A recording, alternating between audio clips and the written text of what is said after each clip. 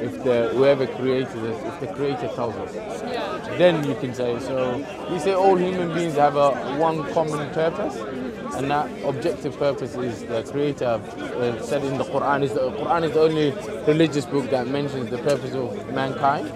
You won't find in other uh, religious uh, scripture and sources. So Allah says in the Quran, وَمَا خَلَقْتَ الْجِنَّ وَالْإِنسَ إِلَّا لِيَعْبُدُونَ We have not created man except nothing but worship. So to be grateful to his creator. Yeah. And we say actually everything within around us is actually a Muslim, including babies. Muslim, the word Muslim means submission to God. So the one who submits to God is called, uh, in Islam, Islam means submission to God, and the one who adheres to that is called a Muslim. What do you think of that? Like all, all of us originally born as a Muslim. So you kind of say you kind of believe in the objective purpose. I suppose so, yeah. I just, I make my own purpose. I think life needs a purpose, but Yeah, but then, it's yeah, up to me yeah. to decide. I don't think that's an external force. There's don't external force. So you, so you wouldn't believe that there's a creator that brought you into existence? Or? Um, I mean, for me, I think I'm, I'm, I'm a guy that likes science. You know, I, I can see. I, I think a scientific explanation is what I'd lean towards. Or would you say like science? Science is science. All it means is uh, the study of the physical world. So when you say science, science is a study. It hasn't. And you need you need a you need a creator to, to uh, all entity that is all powerful, that a necessary being. But is the creator not a human application and explanation? We don't say that. We say that the creator is not human. So everything you have in the world is dependent upon something. No, but the concept of a creator is something that is a human No, no, no. That's Chri- that, that might be Christianity. Our concept of God is there's a chapter of the Quran that uh, in 112 says say, say God is one. قل هو الله أحد الله الصمد is all uh, absolute. لم يلد ولا قل هو الله أحد الله الصمد لم يلد ولم يولد ولم يكن له كفوا أحد. So God is one, one and only. He doesn't begot. No one is given children, and, and He's absolute and, and He's incomparable. You can't compare it to anything. So the Quran is so detailed what God is and the concept of God and His attributes. We don't say God is a man, a woman, and Islam actually believes God is genderless as well. So from the Christian's point of view, God becoming a man and, and Mary looking after God, that is not the all necessary being. So what I would say to you, the only convince, the best convincing argument for you would be is everything you have in the in the universe is dependent. So you can't have a multiple dependent things. So at one point you have to have an independent thing that all dependent things depend upon. The necessary being, and we say that's God. You may be right. You, you can't know for certain. I'm always open to, you know. No, but in terms of in terms of uh, we don't believe God is just like an absent father. We say God created the universe and everything that you see and communicated with us through prophets and gave us signs and miracles and the intellect and, and the rationality to know Him. You see, when we say Him, obviously it's just a language. Yeah, yeah, yeah. So uh, just to add something is that the most important thing is to teach us how to live our life.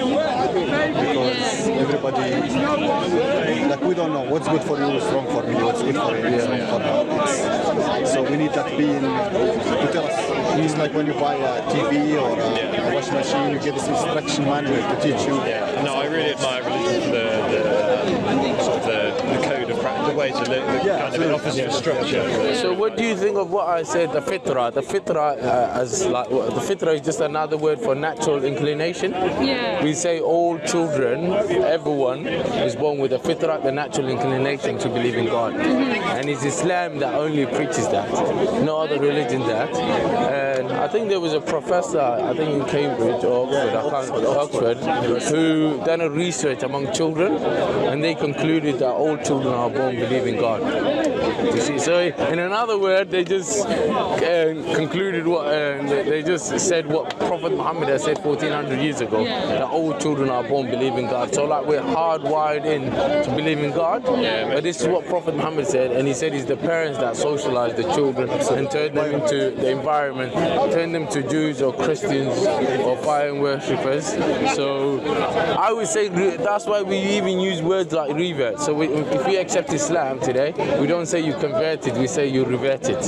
We have plenty of uh, English, and if you- in fact, there's five, six of them in that corner, all white Yeah. British Englishmen that have uh, accepted Islam, and it's the fastest growing religion on earth. So I say to you guys, re- revert to your original belief before Yeah. you were socialized. Thank you very much. I think That's it's a- good. really interesting. great, So- the great thing about it is that you guys are intelligent people, isn't it? Like, I mean, Islam it teaches you. It's, it's, the only thing differentiate Islam. was one of the things that differentiate Islam from any other religion is that Islam encourages you to ask questions and not just believe blindly. You know, you should. Yeah. It will convince I you. would, yeah, that's what I, said. think. Yeah, you know, I mean, the, the amount of people that revert every year.